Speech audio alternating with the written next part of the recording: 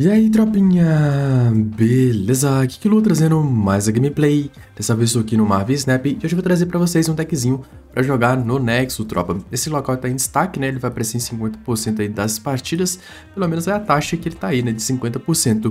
E a gente fez um deckzinho aqui como bem bolado de Cérebro 3. Por que Cérebro 3, tropa? Se você jogar Valkyria no Nexus, você ganha o jogo. O único problema disso é Cosmo. Se você tomar um Cosmo, já era. Mas se você tomar um Cosmo, não precisa ficar preocupado, porque a gente tem aqui a Quake no deck. Se você tomar um Cosmo, assim que o cara jogou o Cosmo em cima da, do, do Nexus, você já pode usar a Quake no meio para poder rotacionar os campos. Aí você tira é, o, ne o Nexus, né? Do Cosmo. Tirou o Nexus do Cosmo? GGzada. Você já pode fazer seu combo novamente com a Valkyrie. Como o cara não vai ter dois Cosmos, Talvez ele dê uma vampira, né? Uma mística. Mas aí ele teria que dar um predict na rodada que tu vai usar a Quake, tá ligado? Então, tipo assim, e na onde que vai cair o campo certinho. Eu acho que isso aí é meio improvável, tá ligado? E com isso aí você vai conseguir ganhar a partida no finalzinho usando a Valkyria. Lembrando que como as cartas custam baixo né, no deck, você consegue jogar elas para todos os lugares ali. Então você consegue fazer valor em várias partes do campo e fazer valor no Nexus, né? O principal é focar no Nexus ali, mas caso você vê ali que o cara jogou o Cosmo mesmo, aí você rapa fora dali. Se os caras jogar muita carta constante no Nexus, você rapa fora dali também, beleza? Porque se ele jogar muita carta constante, você tem que arrumar um jeito de mudar a localização ali com a Quake. Então a Quake pode fazer muito valor aqui no deck e vai ajudar bastante, beleza? Temos aqui também outra opção, caso você não consiga vir com a Quake, né? Você também ali não vai dar a Valkyrie porque o cara tá com uma carta constante ou Cosmo. A gente tem o Iron Man, o Iron Man, se você tiver com os três da baixa aqui, ele vai ter três também e vai ser bufado pelo cérebro. E com isso, vai que o cérebro também pode ser bufado e tudo mais. Aí 12 de poder que você colocaria ali vai virar 24. Então acaba sendo bem interessante. Então, dependendo ali de quantos que você for pôr, né? Vai dobrar com o Iron Man. Então, isso aqui é bem interessante. Tipo, se você pôr Cérebro e Mística com duas cartas lá, já dá 14 de poder. Agora, se você pôr quatro cartas lá, 28 de poder. Agora, imagina se uma dessas quartas é o Iron Man né? Vai ficar com poder absurdo. Vai ficar com poder absurdo aí. Então vai ser bem interessante, beleza? Aqui a gente tem Rhino, Scarlet Witcher e Magic. Por quê? Porque se precisar também você consegue tirar o campo dali. E com a Magic você consegue ter um sétimo turno, porque o sétimo turno é bom com deck de cérebro, tropa pelo motivo que você consegue jogar a mana certinha do Cérebro e Mística no turno 6. E no turno 7 você consegue usar a Valkyria junto com uma carta de custo 2, que acaba sendo muito interessante também. Até para poder jogar a Quake com Valkyria no finalzinho, quem sabe fazer uma play suprema secreta aí pra cima do seu oponente. Pode ser que aconteça, né? Mas também você consegue jogar Magic e tirar o campo com a Scarlet Witcher no sexto turno. Você usa ela no 5, tira no sexto, o oponente não vai estar esperando, né? Já que você colocou o campo. Então pode ser uma play também viável, beleza? No lugar do Jeffinho, tropa, vocês podem pôr o Hulk. O Hulk, se você jogar ele, é, ele custa um só e ele ganha mais dois de poder se você jogar uma carta em cima dele. Então no último turno você pode dar uma Valkyrie em cima dele, ou jogar ele sozinho com Valkyria. É, a Valkyria como conserta, né, vai ser nice. Se você não deixar pro último turno, ele funciona bem, bem de boa e é custo 1, então agrega fazer volume no campo, né, então pode ser interessante também. Caso vocês também não goste dele, temos a Domino também. Domino uma boa carta, caso não goste também, temos Shang-Chi. Temos também Spider-Man, então nós temos várias cartas aí para vocês estarem colocando no lugar. E temos também o Professor X, caso vocês curtam também. O Professor X também faz aquele valorzinho maroto, já que ele tranca a localização. Era uma carta que eu tava pensando na possibilidade de trazer aqui para vocês junto com o deck, mas eu preferi dessa outra forma aqui mesmo. Tava dando bem nice, beleza? Então bora lá conferir as partidinhas, tropa. Então, já começamos com a nossa primeira partidinha aqui, veio o Torre Oscorp, então pode ser que o campo esteja em uma dessas outras duas localizações. A gente vai ficar esperto com isso para começar a tentar jogar um valor extra nessas outras locks. Aqui, ó, já jogou aqui no meio. Já pode jogar o sentinela aqui no meio, que não tem problema. O único probleminha aqui, ó, a Quake no meio, né? Pode ser que dê ruim, porque se o cara tiver Cosmo no meio, acabou com sua Quake. Mas se o cara não tiver Cosmo, acaba sendo interessante. Então no meio, se possível, troque o campo vai ser mais interessante, beleza? Vai ser mais interessante. E sempre que tiver carta de custo 2, dê preferência pro Sentinela e no turno 4 você usa, tipo, Sentinela mais uma carta, tá ligado? Acaba sendo mais interessante. Aqui a gente pode jogar também mais outra cartinha. Acho que eu vou jogar essa Bast pro oponente. Vou evitar jogar aqui nessa forja, né? Que a gente não quer ficar comprando vários sentinelas, não. Se vier uma carta para nós tirar esse campo daí, a gente vai tentar tirar para não tomar Cosmo, Xavier e coisas do tipo, né? Já que ele tá com um Demolidor. Isso aí acaba sendo bem imprevisível aí pra nós. Ah, ele já jogou essa parada aqui já pode querer trocar o campo então, né? Porque talvez se ele tentar brincar nós aqui, vou dando algum probleminha, né? Então acho que eu vou jogar a Quake aqui de uma vez. Vou jogar a Quake aqui de uma vez. O cérebro até agora não veio. Já vou movimentar os campos, já vou fazer mais um valorzinho aqui pela esquerda, né? Já vai movimentar de uma vez, por quê? Porque dependendo do que acontecesse, poderia dar ruim, tá ligado? Dependendo do que acontecesse ali, poderia dar ruim. Então a gente tá com seis cartas na mão, tomar cuidado, o sentinela vai ficar voltando pra mão também. Não é tão interessante, ele jogou um Derrude com mais um monte de carta ruim aqui. A gente vai querer continuar aqui nessa partidinha de sniper, a gente vai jogar o Iron Man. E no Iron Man a gente vai terminar com uma Valkyria, né? Mesmo se não dá pra terminar com a Valkyria, a gente termina com Cérebro e Mística. Nessa partidinha aqui eu não vou ir pra Magic, não quero estender o jogo, porque esse deck dele aqui é tóxico, né? Fica jogando um monte de coisa ruim pra nós. E pode ser que acabe dando um pouquinho ruim. Se ele jogar, tipo, uma Encounters aqui, tá de boa. No final a gente pode dar só uma Valkyriazinha e passar o trator ali, né? Que pode ser interessante também. Mas primeiro a gente tem que ver se a gente pega um cérebro, né? O cara deu o snap, tá vindo tranquilo. Vamos ver, será que ele jogou o que aqui, tropa? Ele veio bem tranquilo assim. Ah, ele jogou Carnage, né? Mas esse aqui será o último turno, né? O que a gente pode fazer? Acho que tá bem de boa pra nós, né? A gente pode tirar o campo também com o. Qualquer coisa. E jogar mais alô aqui pro outro canto, né? Porque aí nós tiramos o, campo aqui, ó. Não sei o que, que ele quer jogar. A gente já trola ele, né? Já trola ele. Ele tem pouco poder no meio. Tá com 5, né? Ganha meio. Ah, mas não precisa ganhar aqui de qualquer jeito, né? A gente precisa ganhar aqui de qualquer jeito. Eu vou de Valkyria mesmo. E vamos ver no que, que vai dar. Ele jogou a Demon e uma Spider-Woman. Safe do Biruleibe. Safe do Biruleibe. Deu um snapzinho ali e se lascou, né? Deu um snapzinho e se lascou. Por quê? Porque nós temos Iron Man, fi. Tipo assim, se ele jogasse quatro cartas, nós ainda ia ganhar pelo Iron Man, né? Mas aí se ele joga em Encounters mais quatro, mais... Enche o campo, mais quatro não, né? Mais três, né? Que ele já tinha uma. Se ele joga em mais três, aí sim ele quebrava nós um pouquinho. Que aí dava um empate, como ele tinha mais cartas aqui, capaz dele ganhar a partidinha. Mas, nesse caso aqui, ele jogou uma carta a menos, de qualquer jeito a gente ganharia, mesmo com Encounters ou sem Encounters, né, tropa? Mas é isso aí, GGzada, e vamos pra próxima, né? Então, tropa, já começamos como? Mais uma partidinha aqui daquele naipe, sacar já veio pra nós aqui, né? Nosso deck começa a rodar mais ali a partir do segundo turno, é bem difícil a gente rodar no primeiro.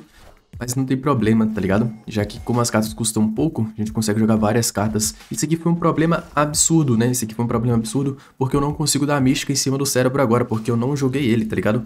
Ele foi jogado pelo próprio campo. Então esse aqui já deu uma quebrada na gente. Esse monstro aqui não tem problema, a gente vai querer passar uma Valkyria é, nesse monstro, né? Eu poderia guardar e jogar aqui, mas não funcionaria, então eu não vou guardar, beleza? Acho que eu vou só passar o turno também, que só tem a mística pra gente fazer um valor extra. E acho que eu vou passar, vamos ver aqui o que que dá. Vai sobrar mana pra gente fazer uma play aqui. Se tivesse o Sentinela era ideal aqui. Sentinela realmente é uma das cartas que mais faz valor aqui no nosso deck, né? Se a gente tiver que jogar Valkyria no monstro, pode ser que dê um pouquinho ruim, tá ligado? Pode ser que dê um pouquinho ruim, então a gente pode jogar Bast no meio também.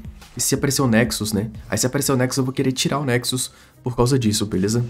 Veio lugar nenhum, lugar nenhum. Acaba sendo um pouquinho troll aqui pra nós, hein? Lugar nenhum acaba sendo um pouquinho troll aqui pra nós. Mas vamos tentar, né? Por quê? Porque eu não consigo ficar jogando sentinelas lá. A riveria, né? Não consigo ficar jogando muito sentinelas lá. Mas tá tranquilo, tá favorável, né? Tá tranquilo e favorável. Próximo turno já tentou jogar um sentinela com a Quake.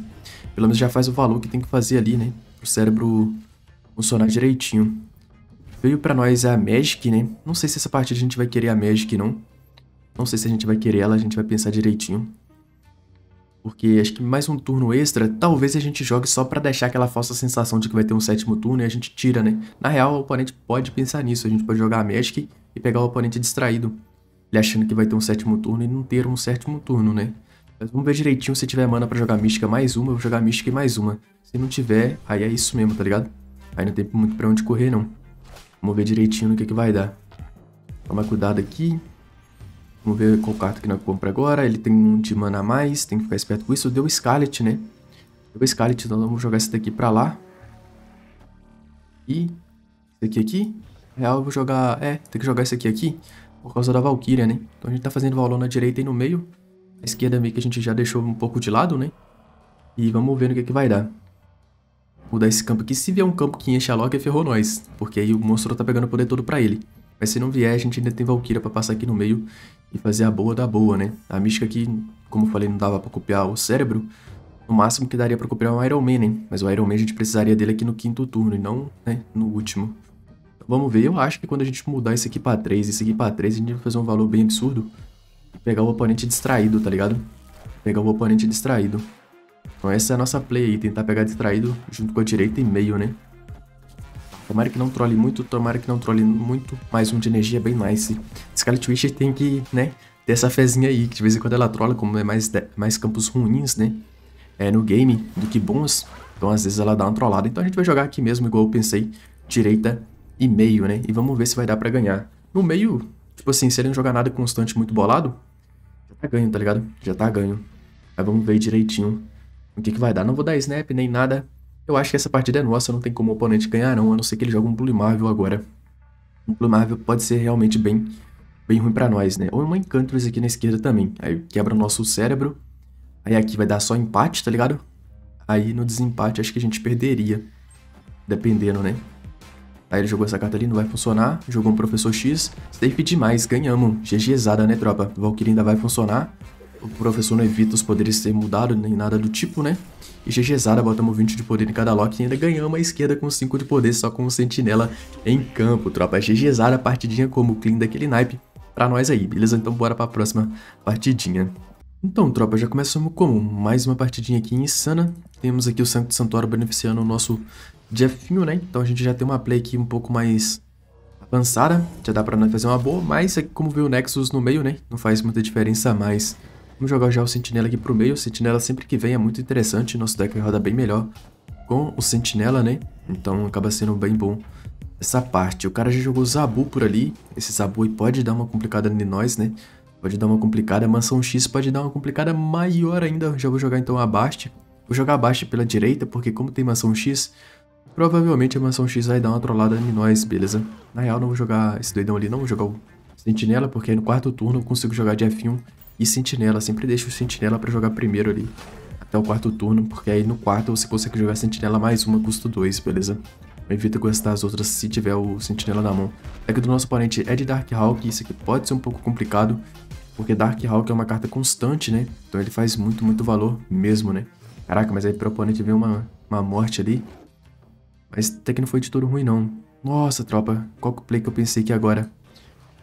Scarlet Witcher aqui. Tá ligado? Iromi aqui, na direita. Cérebro meio...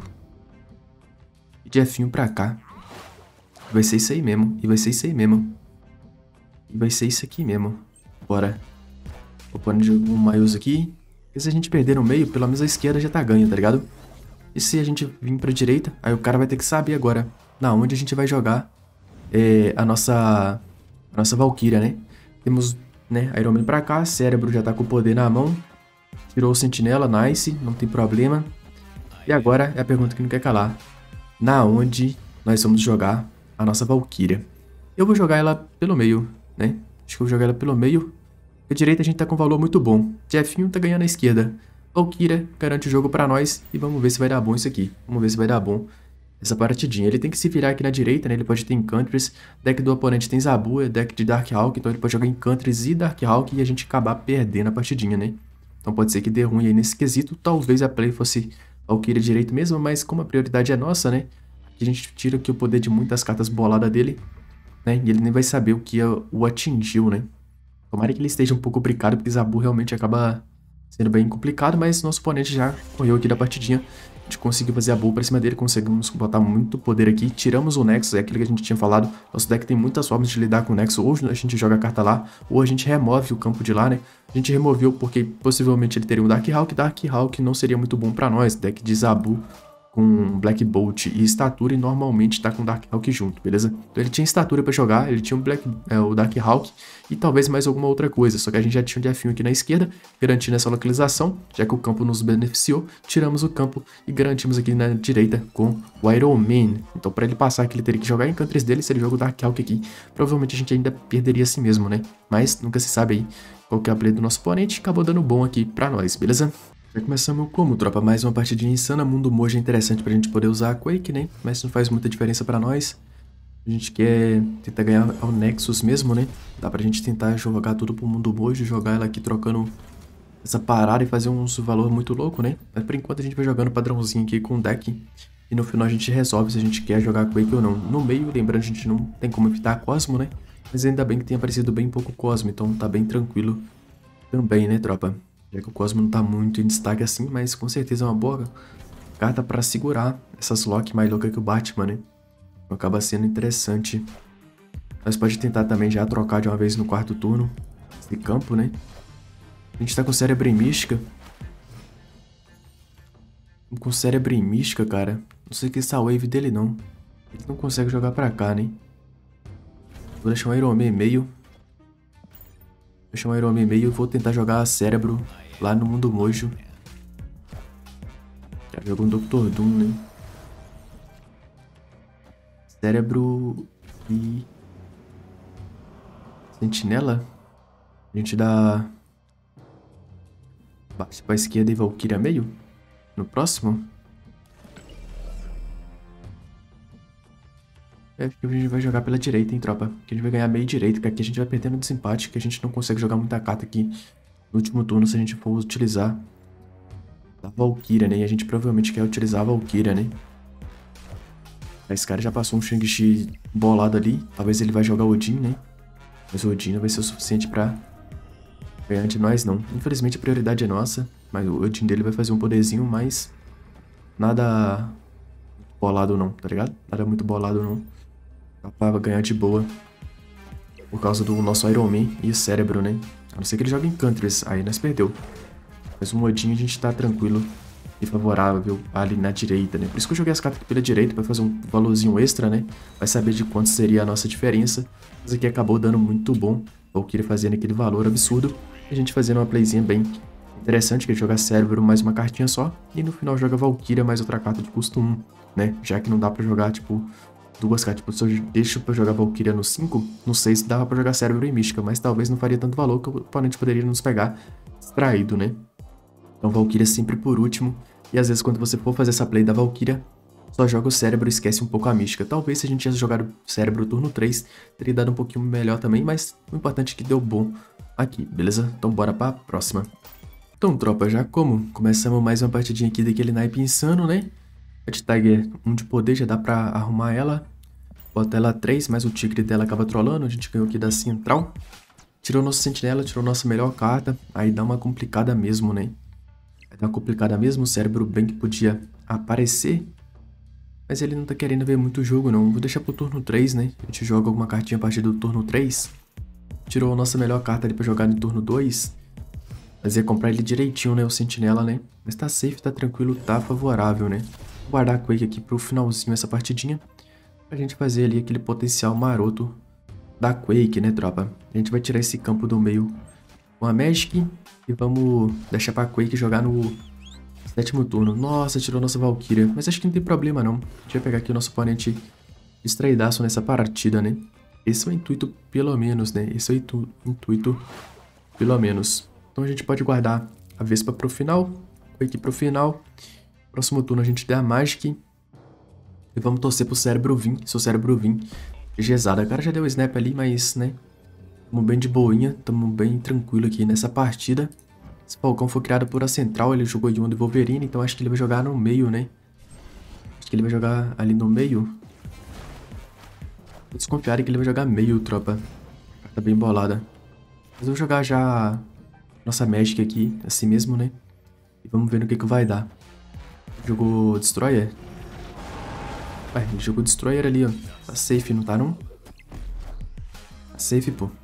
Esse Destroyer ali, a gente vai jogar Quake, né? A gente vai jogar Quake, Cérebro e Mística seria interessantíssimo agora. Ah, esse... E Cérebro pra cá e Mística pra cá, né? Pra, né, dar aquela diversificada. Acho que eu vou jogar esse aqui de uma vez. Pra caso o oponente, dependendo do que ele jogue, né? XGzado aqui, dava até pra dar aquele snap maroto, mas... Por via das dúvidas, né? Evitar esse snap maroto aí. Mas a gente vai conseguir fazer um valor bem absurdo nessa partida, hein? Nessa partida a gente vai fazer um valor bem, bem, bem absurdo mesmo, né? A gente vai tomar cuidado com a Scarlet. A gente vai tirar o, a gente pode tirar o campo, né? Dependendo. Vou jogar aqui então o Iron Man aqui pela esquerda, essa doidona aqui no meio. E GGzada, né? Só sair pro abraço, né? Já jogou um Kinozada lá, já jogou um Iron Man pra cá. Uma Quakezada aqui também, o oponente não jogou nada no meio, né? E a Quake fazendo aquele valor extremo. Jogou, né? Bagulho aqui pela esquerda. A gente tava com o Iron Man lá. Fizemos muito valor absurdo lá. E ganhamos aqui na esquerda e no meio, né? Conseguimos fazer o nosso valorzinho aí bem absurdo, a gente fez aquilo que a gente queria que o deck fizesse, né? Jogamos ali pro lado, jogamos o limbo pro outro, até o oponente deu um toque aqui. Essa partidinha aqui foi como insana, deu pra mostrar o valor da Quake. Não é sempre que você vai conseguir fazer essa play com a Quake, mas é bom ter ela no deck porque seria outra carta de 3 de poder aleatória mesmo. E em vez de ser outra carta aleatória, é uma carta que tem uma possibilidade. Se fosse outra, você também não iria fazer nada extravagante também, mudaria a partida. Mas com ela, tem essa oportunidade de fazer uma, uma play bem imprevisível. E aí acaba pegando o oponente de surpresa e ganhando uns cubinhos extras a mais, né, tropa? Eu poderia ter dado o snapzinho ali, provavelmente ele não ia correr ali do snapzinho. Mas pra evitar, pra dar pra mostrar a play aqui pra vocês, deixamos aí é, essa play, beleza? Então, tropa, esse foi o deckzinho que eu quis, queria passar pra vocês, igual vocês viram aí no final, a Quake fez muito valor pra gente em uma partidinha, é igual eu falei ali naquela partida, a gente não consegue fazer essa play com a Quake todas as partidas, mas uma partida ou outra você consegue fazer e pode salvar a sua partida, caso você não fosse usar ela, você iria botar um Hawkeye ou alguma outra carta que não te agregaria tanto também, então, tipo assim, se não vai fazer muita diferença no deck, ela pelo menos tem uma possibilidade que pode te ganhar alguma partidinha ou outra, né? A diferença é a gente conseguir aí pegar o infinito ou não, beleza? Então, esse foi o deckzinho, espero que vocês tenham gostado. Se vocês deixem like, se inscrevam no canal. Tamo junto, é nóis e fui tropinha. É isso.